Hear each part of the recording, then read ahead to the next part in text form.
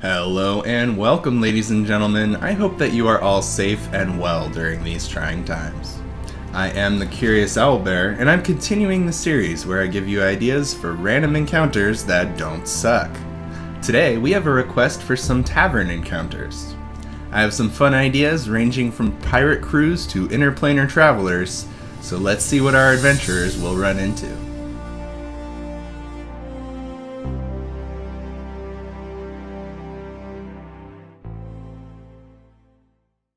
The adventurers retire to the local tavern after a long, challenging journey. Most of the inn's patrons are local farmers, landowners, or traders, but there are also several other travelers from far off regions. The innkeeper, Fat Polly, is happy to converse with the adventurers as he tries to be friendly with any individuals who look like they can handle themselves, which helps in the event that he needs to keep the peace. As dinner is served, a teenage girl wanders downstairs holding a fiddle. As Fat Polly delivers the food, he remarks about how proud he is of his daughter, as she plays the few songs that she's learned so far. The patrons are kind enough to the girl, offering a few tips. This encounter will offer the group a chance to make some unique friends, as well as get a taste of the local landscape. The group enjoys a nice meal and a few drinks at the local tavern, Suddenly, the tavern doors are thrown wide open, and several smelly, disheveled seafarers enter the tavern. They're loud and lively, singing songs and making merry throughout the night. The pirates are mostly harmless on land, but they will make some less savory remarks, and the real problem won't arrive until later in the evening. After the adventurers retire to their beds, the raucous in the barroom doesn't cease, and some of the party members may have difficulty getting a full night's rest.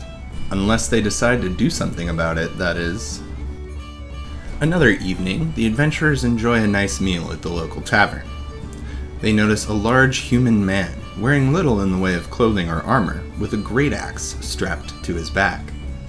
If any of the adventurers approach the man, he's gruff and unwelcoming, but not hostile.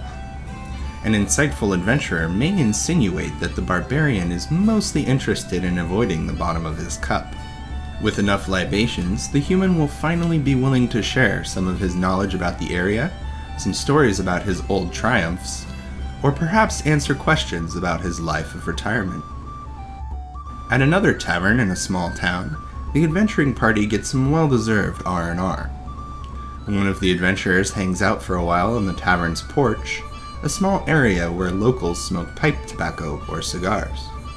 You can have the player make a surprise perception or investigation check to notice a small tobacco pipe that lies stuck between two floorboards.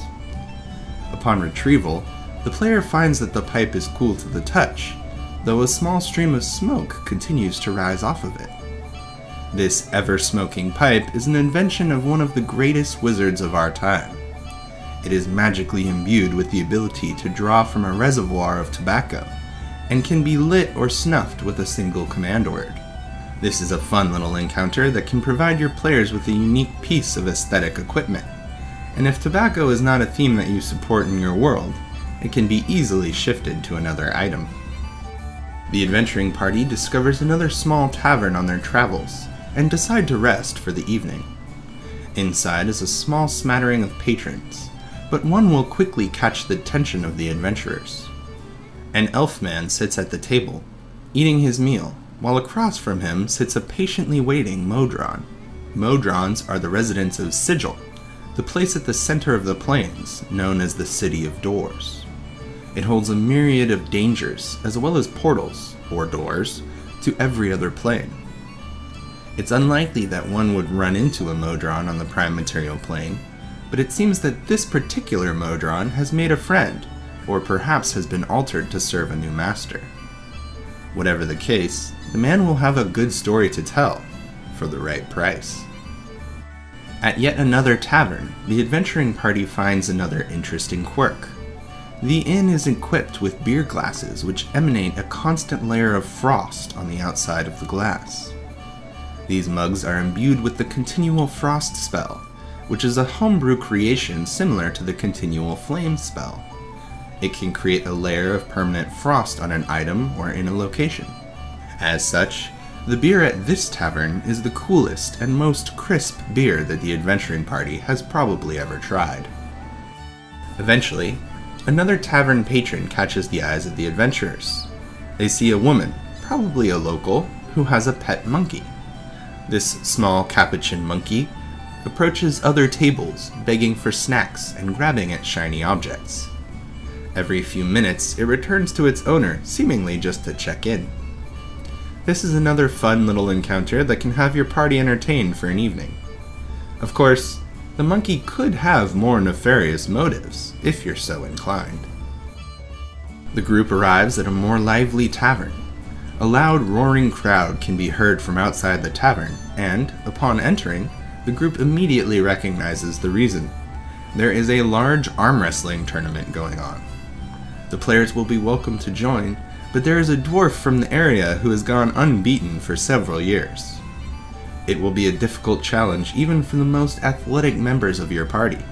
I recommend using opposed athletics checks to resolve each arm wrestling bout. And you can even divide each match into a couple of checks to give an athlete a chance for a comeback. This was an exciting encounter for my players, and of course, the most financially motivated individual among them started a betting pool for those who weren't competing. During another night at a raucous tavern, a brawl breaks out in the bar. There is actually a monster for this in the Creature Codex, which has some interesting abilities. It's similar to other swarm creatures in that it can move into the space of another creature, as well as using some uniquely themed attacks. If you're looking for an interesting bar fight, then I highly recommend this creature. Finally, as the group rests at a local tavern, a more nefarious plot is unveiled. The group's rogue heads outside to use the facilities, and, unfortunately, they might have had a little too much to drink.